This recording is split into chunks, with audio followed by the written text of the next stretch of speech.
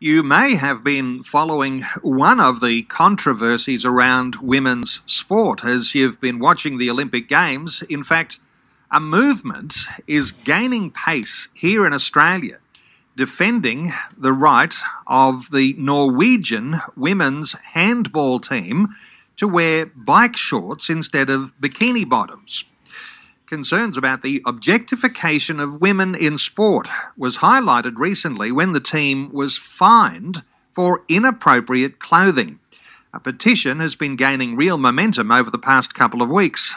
Melinda Tankard Reist leads Collective Shout and is joining us to unpack some of the issues around this controversy. Melinda, welcome along to 2020. Great to be back with you again, Neil. Melinda, the offensive clothing and uh, bike shorts here in the mix. Give us a little outline of what you've been monitoring along. Yes, it's hard to believe that uh, bike shorts would be deemed inappropriate clothing for the female Norwegian beach handball team to wear, but it certainly uh, was. The fact is that the male players are allowed to wear tank tops and shorts, uh, but the international Handball Federation rules state that women players have to wear bikini bottoms, quote, with a close fit and cut on an upward angle towards the top of the leg, and they are not allowed to be more than 10 centimetres uh, across uh, the width. And so we've been arguing that, uh, you know, female players should be able to wear shorts. They should feel comfortable. Many of the players themselves have said that they become hyper vigilant. They can't focus on their performance. Uh, they're worried about unwanted exposure. They're worried about uh, men taking photos of them and sharing those photographs. So we think it's uh, grossly unfair that the standards uh, for the men are very different uh, to the standards for women, and there's no reason for that. Melinda, we're all glued to the Olympic Games right now, looking at our favourite sports, and I'm just thinking swimming, diving, water polo, even on the athletics fields. Uh, they're into, in some sense, uh, something close to the bikini bottoms. Uh, what are your thoughts for all those sports involved? Look, I think that female players should be able to wear what they are most comfortable in and what will enable them to perform at their peak without being distracted the whole time, worrying about a wardrobe malfunction. And that does seem to be the case with the beach volleyball, that it's almost like a built in wardrobe fun- malfunction. Uh, that seems to be um, the aim is to, to expose the women's bodies. And uh, it's just not fair, it's not uh, equal that women should have to be self conscious and hyper vigilant and unable to focus on performance, whereas the men can just get on with the job. And uh, we've noticed that the recently the um, German gymnastics team actually decided to wear full length unitards at the Tokyo Olympics. And this is the first time uh, that, that the team has done this. And the fact is that uh, the women came out and said they wanted to be role models for young gymnasts uh, who often don't feel safe, don't feel comfortable, can feel very exposed. They can feel sexualized in, in the sport. And this is a sport, of course, which has been rocked by sexual abuse, uh, primarily by the former Team USA Dr. Larry Nassar, who was sentenced to 175 years in prison for abusing uh, gymnasts. And so we just felt so proud of the German gymnastics team for taking that stand and for being able to perform at their, their peak in a bodysuit that they felt most comfortable in. So we're seeing the winds of change, and we're hoping that Talitha Stone's petition will help to uh, to drive that, that change further.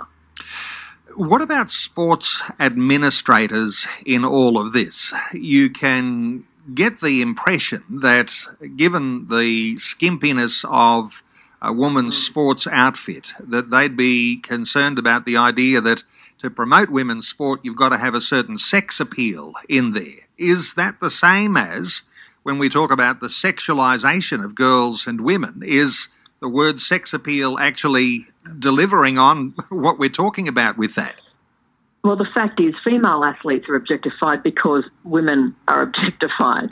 It's, it's mostly women who are objectified and most negatively impacted. We know this has become routine. You and I have talked about this before the hypersexualized representations of women in media advertising and pop culture and how women are defined by their, their physical attractiveness, uh, their sexual attractiveness uh, in a way that is uh, just unfair. And we're seeing it you know, in, in so many areas because it's just so established and normalized and systemic, which is actually the reason that Collective Shout started, you know, 10 years ago. And this debate we're having around women's sport, you know, needs to be extended to the ways that women are objectified everywhere. Um, but we do welcome this focus because female athletes shouldn't be punished for wearing an outfit which is functional and practical and allows their freedom of movement you know, about being worried about unintended exposure. And that's why we're promoting this petition that started by Letha, who's uh, Australian of origin but living in Norway, and she's a young athlete herself. And uh, as we're speaking, we're approaching 60,000 uh, signatures. We're hoping to get it up to 100,000. And this, uh, this is calling on the International Handball Federation uh, to stop fining players, stop punishing them, and allowing them to wear shorts. Uh, incidentally, the International Handball Federation is comprised, uh, its executive is comprised of 17 men and two women, uh, which goes back to your point, you know, who's making these decisions and uh, how they are just not in the best interest of, of women, uh, particularly female sportswomen and that's what's behind uh, this this petition. Of course, uh, the International Handball Federation, well, that may not be reflective of Australian values. Uh, any thoughts here on what the attitudes are here in our Australian sport? Because it seems to be uh, that it would be just as rife, or are there regulations that you're aware of that keep well, women mm. doing the thing that is less modest?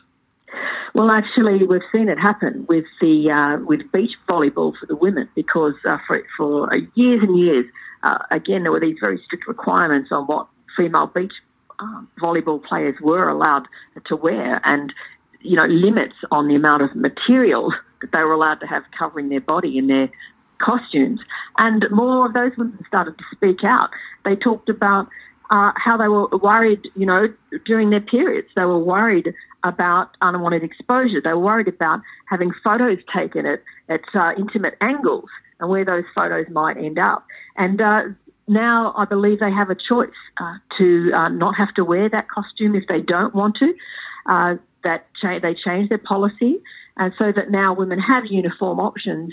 And that's our point. Women should have the choice to wear what they are comfortable in, what enables them to focus on their performance rather than be worried and anxious and, and hyper vigilant when they when that is just so unnecessary. We uh, talk in terms of what's functional, what's practical, what allows freedom of movement, and the fact is that we know that there are declining rates of girls playing sport, and this is one of the reasons they're worried about the focus on their bodies. They're worried that uh, they may not be able to conform to stereotyped ideas about how, as young girls, they, their bodies should look. They're worried about unwanted attention, which they get enough of in their daily lives already. So they're not comfortable playing in costumes which draw attention uh, to certain uh, body parts and which again just make them worried and anxious. And this is a reason that we are seeing tragically declining rates of girls playing sport around the world. That's what the global data shows.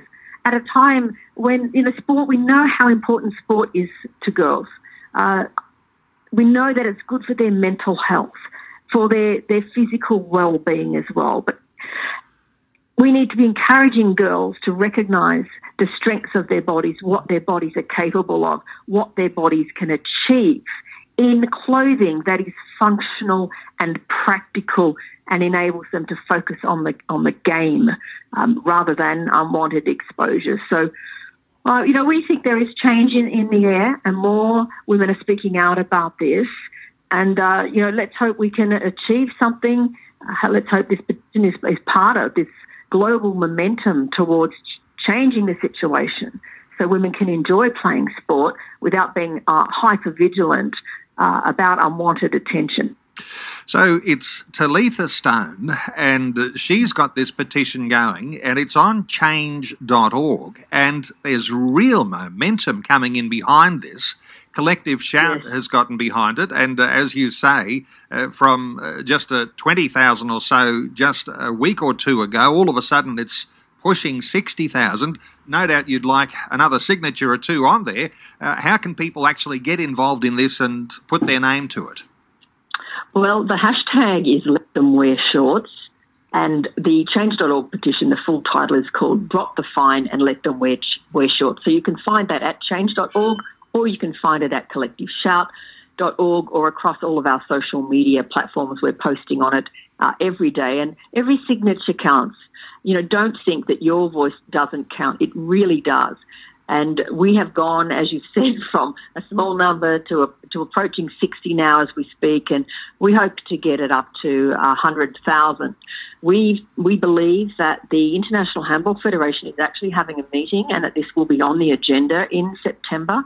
All the pressure that we can apply now will help them to decide the right way to allow women to wear shorts uh, when they're playing beach volleyball, not be threatened with fines, not be threatened with disqualification, not be punished, and uh, hopefully this will have a flow on effect uh, to all women playing sport, uh, whatever their chosen sport is around the world. So, yes, please do add your signature. It will make a difference. Sign the petition and share it with your family and friends, and hopefully we can uh, make it up to 100,000.